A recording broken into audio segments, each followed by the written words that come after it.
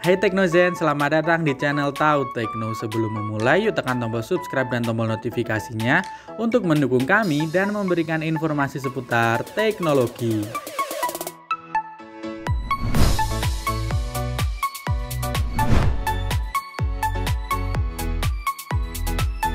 Bocoran-bocoran HP baru Samsung Galaxy M52 mulai tersebar di internet.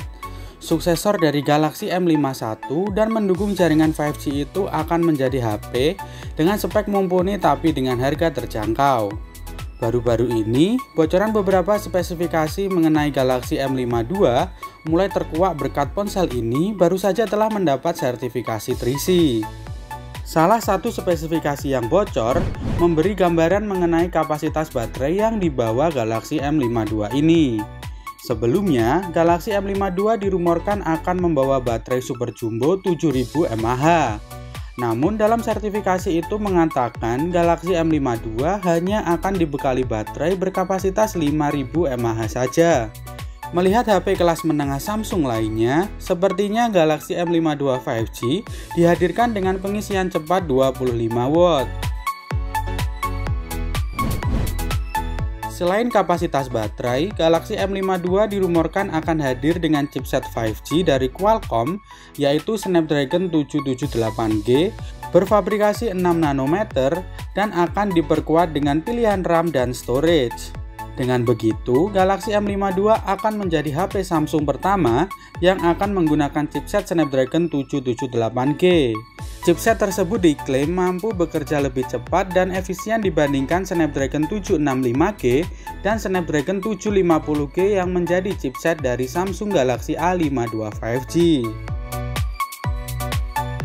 Selain rumor dari spesifikasi 3C, mengutip dari beberapa sumber Galaxy M52 akan memiliki pengaturan kamera yang sama dengan Galaxy A52 5G.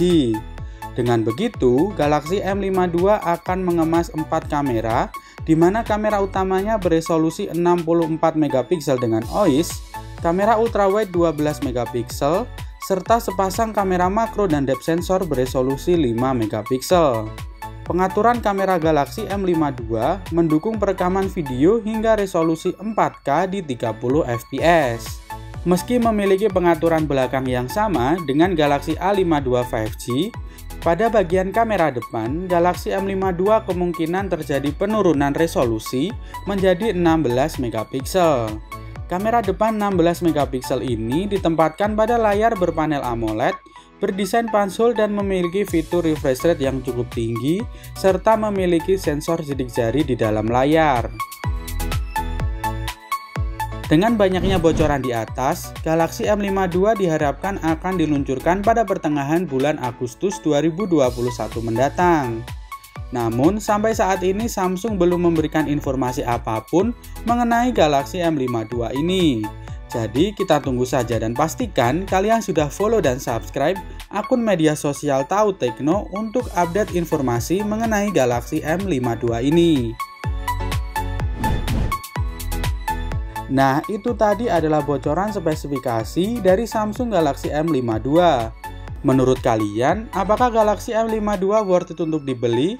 Tulis opini kalian di kolom komentar ya.